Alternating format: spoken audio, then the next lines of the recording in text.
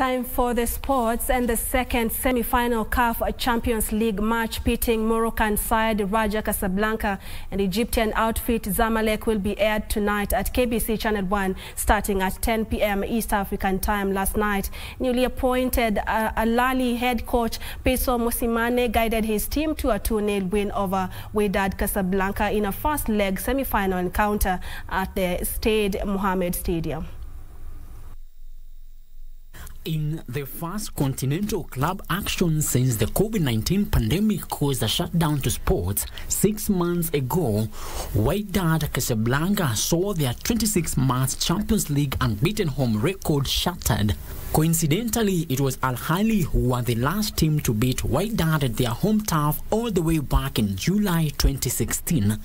Mohamed Afsha capitalized on an error by Yahya Jabrane to give Al Ahly the lead. Elhani, oh, the control. You've got to be careful. Oh, it's an easy chance. This is one on one with the goalkeeper. It's in the back of the net. There's your goal. Well, it's 1 0. How about that?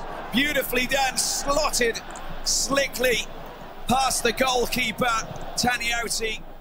Casablanca had a great opportunity to restore parity when they awarded a penalty in the 43rd minute, but the chance was wasted as Badie Aouk struck his spot kick tamely and enabled Mohamed El Shenawi to make the save. Here it is, is the shot. The shot goes in. Oh, it's been saved. I can't believe it. And a second attempt as well. That is just incredible. Should have been buried, but he couldn't do anything.